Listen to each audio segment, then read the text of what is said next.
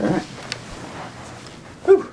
So I decided to uh, order a new toy up. It was a little pricey, but tell you the truth, it's pretty sweet, and I'm excited to show you and uh, do a little review on it. So we got right here, it's the Excalibur Micro 380. It's new for 2022. I ordered it a while ago and it finally came in, went and picked it up, and this thing is sweet. I mean, it's lightweight. It's got the lightweight stock on it. It's really not that heavy. I forget how much it weighs, but it's not heavy at all. It's a really lightweight, maneuverable.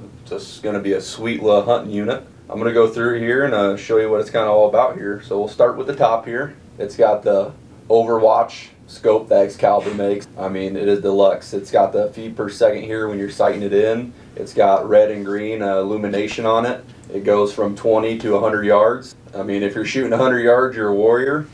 But it's a sweet scope. It's uh, got a lifetime uh, lifetime warranty on it. It's pretty sweet. I mean, these Excalibur crossbows, they're built to last. I mean, I love just the simplicity of it. You go into an archery shop anymore and you see all these crossbows hanging up and they're getting way too futuristic. They got cams and cables hanging off everywhere. I just don't like them and there's a lot that can go wrong with them. With this thing, you basically got a stick and a string. You can replace the string out in the field. If you break a uh, limb. You can order up new limbs and put them on there. I mean, this thing is built to last. It's got the dead silencers on here. I think that's what they're called. We're going to find out how uh, loud it is when we go shoot it here. It comes with the old uh, Excalibur quiver here that detaches really easily. I mean, that's deluxe for when you're hunting. You just clip it back on there, just like that. And it comes with uh, four of Excalibur's uh, Pro Flight and it comes with four of these uh, live action uh, Pro Flight Excalibur arrows. I believe these are their high end arrows.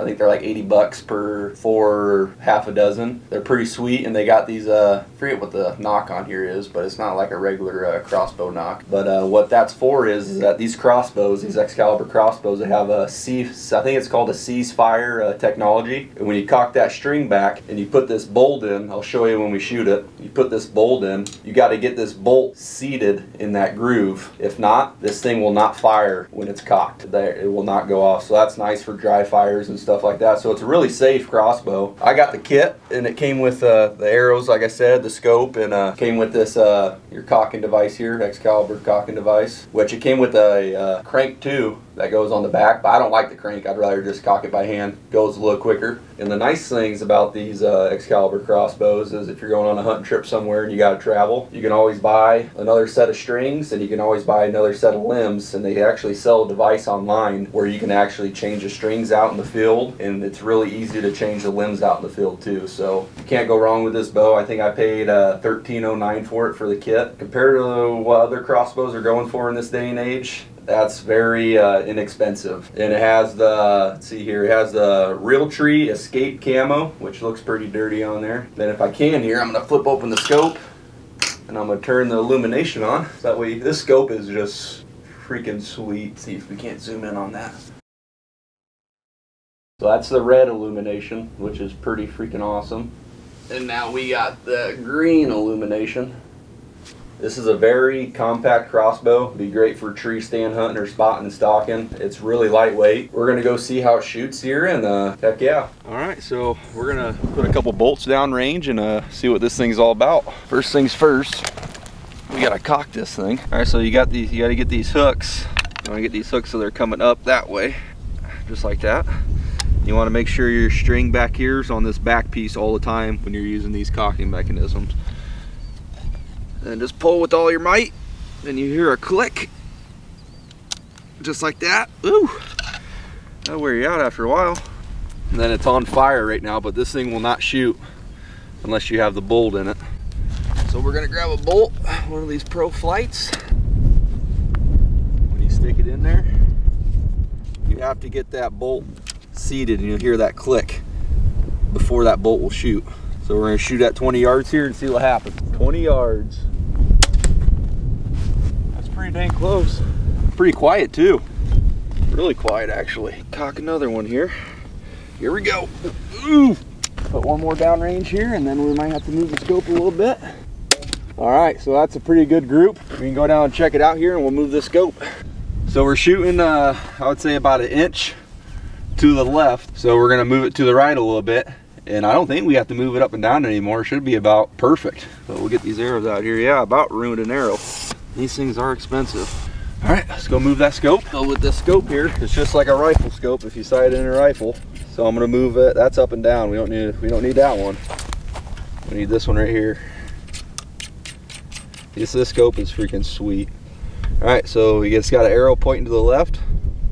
We, it's got an arrow pointing to the left. We want to move it to the right here, so we're going to move it the opposite direction. I'm going to do about 10 clicks here. One, two, three, four, five, six, seven, eight, nine, ten. I like tapping it a little bit. Give it a little tap, tap, tap. Screw that back on. All right, set another one down range. Put one more down. Might have to move it over to the right again a little bit more. We'll get it there. I don't know if you guys can hear that, but this thing is freaking quiet. Super quiet. Fire in the hole. Yep, we need to move it over about 10 more clicks here.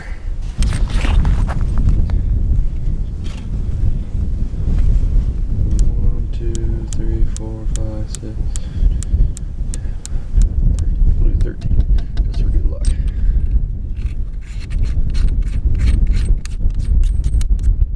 Alright, see what that does here. I'm gonna move it over. Five more clicks. It's getting there. About dead nuts.